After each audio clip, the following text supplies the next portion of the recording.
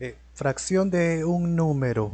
Empezamos aquí colocando la fracción 7 décimos. D es multiplicación y ahora el 90. Como hay multiplicación, cualquiera de estos de arriba se podría dividir entre el de abajo. Conviene 90 porque 90 entre 10 es exacto, sale 9. Quedarían 7 por 9. Y 7 por 9 es 63 y ahí termina. Siguiente, el un tercio, D es multiplicación y ahora 75. Y lo mismo, 75 entre 3 es 25. Quedaría 1 por y esta división 25. 1 por 25 es 25 y ahí terminan.